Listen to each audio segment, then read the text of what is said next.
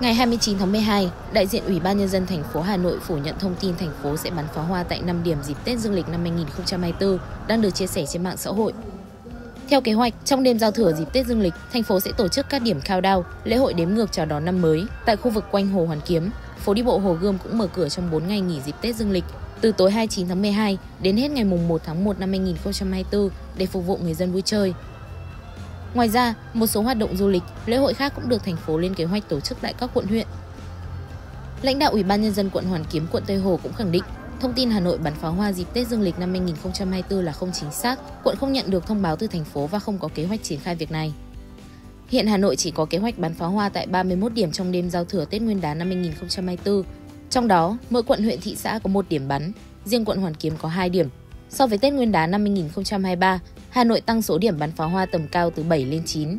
Mỗi điểm sẽ bắn 600 quả, 22 điểm bắn tầm thấp có 120 dàn ở mỗi vị trí.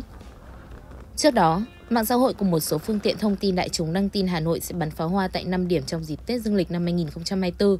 Sau khi thông tin trên được chia sẻ trên mạng xã hội đã thu hút đông đảo sự quan tâm của người dân.